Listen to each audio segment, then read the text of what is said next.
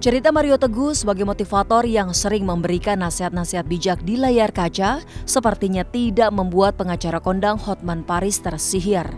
Apalagi di tengah polemik Mario Teguh dan Kiswinar yang semakin pelik, kata-kata manis Mario Teguh tak bisa menawar suasana yang tengah genting seperti ini.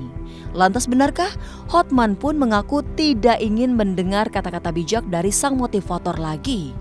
Sekarang kalau kalau Maria Teguh itu laki-laki, ya kalau Maria Teguh itu punya tanggung jawab harusnya begitu si si anak itu pada saat umur tujuh tahun kalau benar kalau benar ibunya mengaku ada hubungan sama laki-laki lain harusnya pada saat itu juga dong langsung dites DNA kenapa dibiarkan itu anak sampai umur 17 10 tahun lebih dia nggak tahu?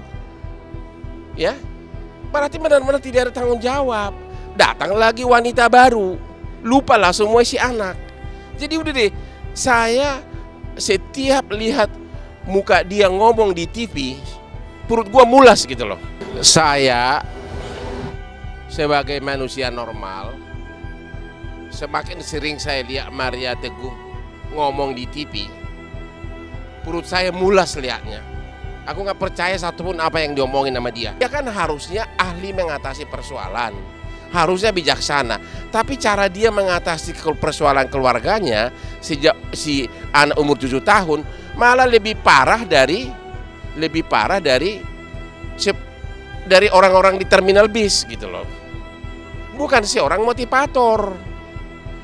Jadi makanya kalau sampai tampil lagi dia di panggung, aku bisa muntah beneran.